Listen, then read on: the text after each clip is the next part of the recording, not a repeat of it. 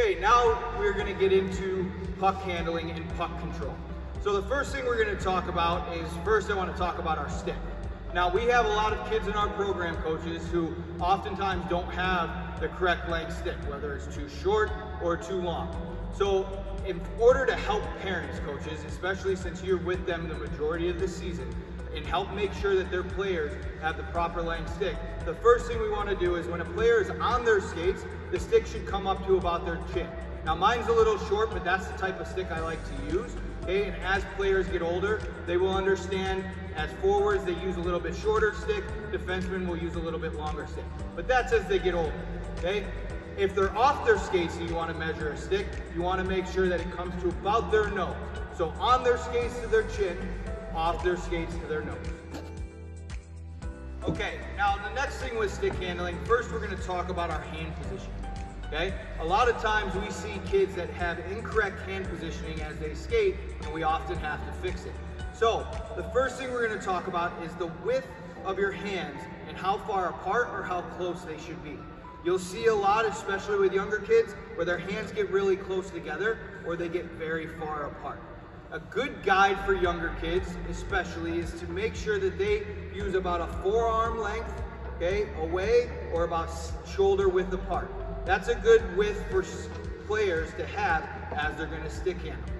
Okay, the other thing is we wanna make sure our top hand is all the way at the top of the stick. Oftentimes when kids have sticks that are too long, they'll move their hand down because they know their stick is too long. They'll move their hand down and their butt end will come out the top. Make sure that hand is all the way at the top of their stick. Now the next thing we're going to talk about with puck handling is what hand does what. Okay, we have our top hand and our bottom hand. Your bottom hand is there more to guide the stick. Okay, it moves up and down the shaft of the stick, but it's there as a guide as you change and you have range of motion. Your top hand is there to control and kind of do more of a control to the puck and actually rolls as you control the puck in your stick. So your top hand, you should be able to take your top hand off and put the puck in front of you and still be able to stick handle and roll your wrist and handle the puck. Your bottom hand goes on for a guide, so if you want to go with range of motion, okay, your bottom hand moves up and down the shaft of your stick as the guide. Now the next thing we're going to talk about is the different types of carries that we'll use to travel up the ice and before we do that, I want to talk about just real quick your upper body position. Okay, similar to when you're skating, you want to have a good knee bend, good hockey position, your chest up, and you want to make sure they keep their head up. We have a lot of kids at time, especially at the younger age, that look down at the puck because they're not comfortable of having the puck on their stick and knowing where it's going to be. You want to have to try to teach them to use their peripheral vision. They should be able to look forward and look out the bottom part of their eyes and still be able to see the puck without actually looking down. Okay, so the first puck carry that we're going to talk about is actually called the push carry. A lot of times this is used when you're skating up ice and you're trying to gain speed and you don't want to slow yourself down by actually stick handling the puck. So a push carry is when you actually have your stick out in front of you and you're just pushing the puck ahead of you on your stick.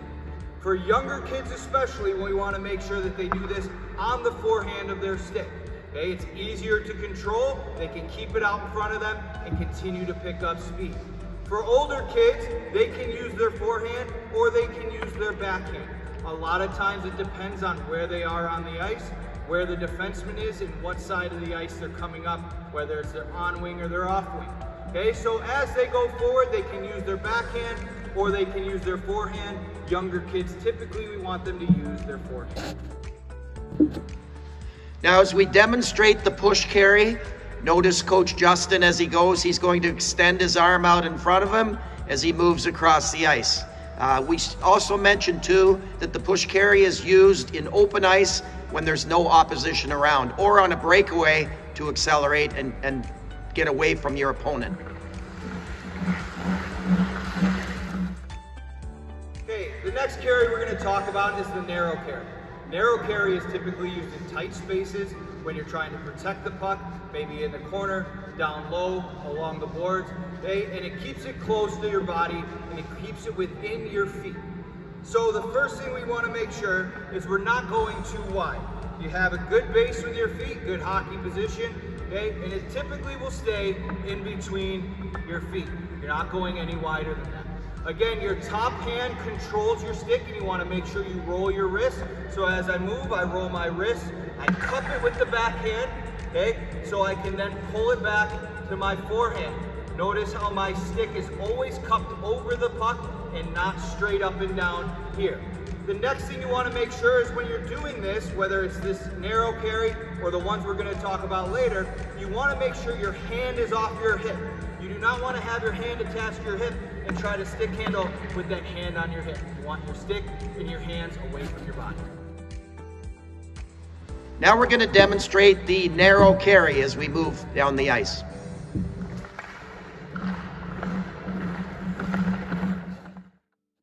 The next one we're going to talk about is a wide carry. Okay, a wide carry is oftentimes used to either to fake out a defenseman, okay, or to fake out a goalie, but oftentimes it's used to make some kind of deke or to protect the puck as you're going around a defenseman. So the wide carry, okay, goes outside your feet. Again, this is where your bottom hand is very important and it moves up and down the shaft of your stick because as it moves, you need to have good range of motion. That's also why your top hand cannot be attached to your hip and your arms need to be free. Again, your top hand helps control and cup the puck. Bottom hand helps guide the stick and stay wide outside your feet and so you can deke or make a move. Now we're going to demonstrate the wide carry.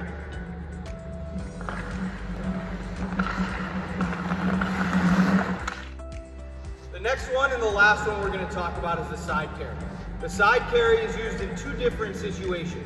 It's used by defensemen, typically when they're moving backwards and they're getting ready to make a pass, or it's moved by forwards, typically when they're moving forward towards the net, they're getting ready to shoot or make a pass tip maybe backdoor. Now the biggest thing that you have to make sure with a side carry is obviously the puck is on the side of your body. This really forces players to have to use their peripheral vision. Again, you cannot have your hands attached to your hip. You need your hands free so you can have good range of motion and can move and reposition your stick wherever it needs to go on your side. Peripheral vision is key. You need to be able to keep your head up and look out the corner of your eye and still be able to handle that puck so you can pass it as a defenseman or shoot it as a forward. Now we will demonstrate the side carry, moving backwards like a defenseman would do, carrying the puck.